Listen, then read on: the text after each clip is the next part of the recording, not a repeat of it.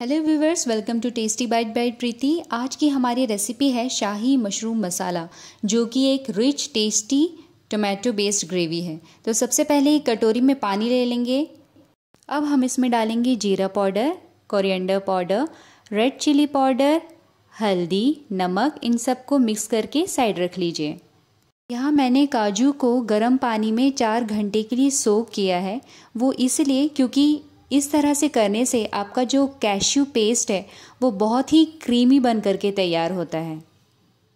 आइए बढ़ते हैं रेसिपी की तरफ़। तो सबसे पहले आप कढ़ाई को थोड़ा गर्म कर लीजिए और उसमें डालेंगे घी और बटर फिर हम धुले हुए कटे मशरूम डालकर इसे सौते कर लेंगे हाई फ्लेम पे। सौते करते टाइम पिंच ऑफ़ सॉल्ट भी डालिए और हाई फ्लेम पे ही इसे सौते कीजिए। बीच में ज़रूर ये पानी छोड़ेगा, लेकिन जल्दी ही ये ड्राई हो जाएगा। अब इसे निकाल कर एक बर्तन में रख लेते हैं। उसी कढ़ाई में घी डाल करके गरम कर लेंगे। घी गरम होने पर हम डालेंगे जीरा। जब वो स्प्लटर करने लगे, फिर हम डालेंगे तेज पत्ता और साथ ही साथ डालेंगे जिंजर गार्लिक पेस्ट इन्हें अच्छी तरह से मिक्स कर लीजिए।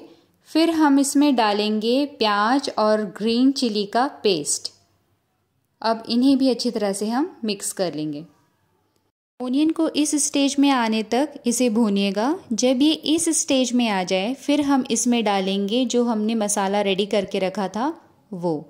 अब इसे भी आप अच्छी तरह से मिक्स कर लीजिए। जब प्याज और मसाला अच्छी तरह से भून जाए, तब बारी आती है टोमेटो प्यूरी डालने की। अब हम टोमेटो प्यूरी डालकर भी इसे अच्छी तरह से मिक्स कर देंगे और ढककर थोड़ी देर पका लेंगे। दो तीन मिनट पकाने के बाद हम इसे ढक्कन खोलेंगे और वापस से अपना टोमेटो प्यूरी चला लेंगे। अच्छी तरह से मिक्स होने के बाद वापस इसे ढककर और दो तीन मिनट पकाएँगे, जब तक कि हमारी टोमेटो ग्रेवी इस स्टेज में ना पहुँच जाए।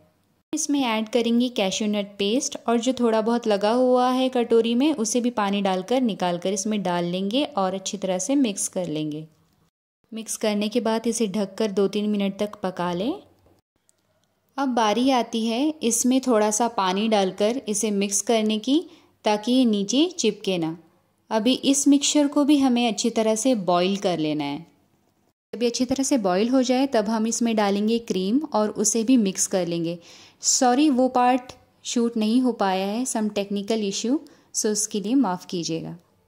जब ग्रेवी अच्छे से बॉईल होने लगे, तब हम इसमें डालेंगे सौते मशरूम और इसे भी अच्छी तरह से मिक्स कर लेंगे और ढककर दो तीन मिनट तक इसे और पका लेंगे।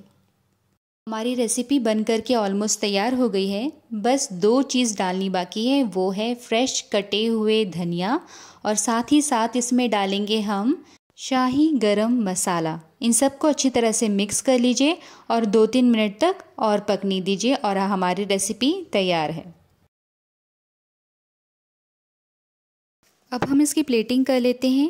ये स्वादिष्ट मलाईदार ग्रेवी रेसिपी को आप चपाती राइस या नान के साथ सर्व कर सकते हैं और इन्जॉय कर सकते हैं। और ये डिनर पार्टी के लिए तो बेस्ट रेसिपी है। सो so, मेरे इस चैनल में अगर आप नए हैं तो मेरे इस चैनल को सब्सक्राइब कर लीजिए फॉर न्यू न्यू रेसिपीज़ और हाँ शेयर एंड लाइक करना मत भूलिए।